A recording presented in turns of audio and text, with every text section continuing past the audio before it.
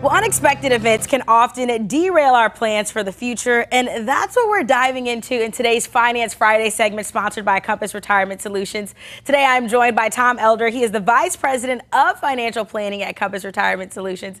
Tom, thanks so much for being here with us today. Finance Friday is my favorite place to be. Hey, we love when you're here. I mean, y'all are truly teaching me and our viewers at home so much about retirement, and people can encounter a lot of unexpecteds, like long-term health care, crazy stock markets. I mean, it really can get a little bit crazy but we try to do our best to plan for the unexpected. Yeah, have you ever heard the term so you know what you know, mm-hmm. you know what you don't know, so you can go find that, it's what you don't know that you don't know that's going to get you. exactly. Right? And so that's often when people seek out counsel and advice, right? Which is why we give away our free book Retire Early is because there's a lot of tips in there about some of the risks that come into play in retirement. And so, you know, it can be different things from personal issues. Sometimes there's unexpected family expenses. Well, how do you do that if you're on an income from your assets in retirement or shoot, a, a death of a loved one, even a spouse, how do you overcome that one? Those are unexpected risks. Inflation, market volatility is a big one because one of the things that a lot of people might not realize is that down markets like we have right now. Yeah, it's a little crazy. uh huh. When you are retired, these are the kinds of markets that can cause a decrease in income for the rest of your life. So having a plan for that risk, if that happens when you're retired, is really important.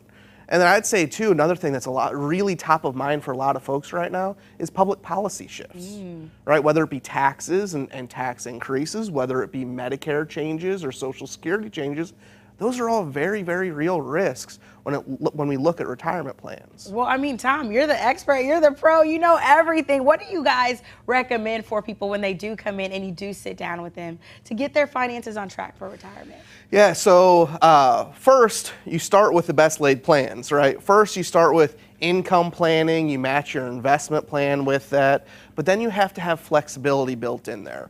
And what I mean by flexibility is sometimes these risks occur.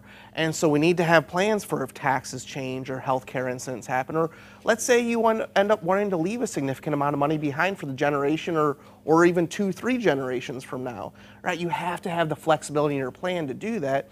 And so starting it out knowing that there's going to be some of these risks is really important when formulating where you're going to take your income from and when. So I love that, Tom. You just all you talked about was the plan. You need a plan. You need a plan. You need to plan when it comes to retirement. So work your plan and have your plan work for you. If you're interested in getting your hands on how you can plan, you can get a copy of Marvin Mitchell's Retire Early book. There are so many amazing gems, and you can get this book today at no cost to you. All you have to do is head online to rethinkingretirement.net. Again, that website is rethinkingretirement.net. It's your no cost peace of mind toolkit. And we'll make sure you have access to all of that information on our website at studiostl.tv.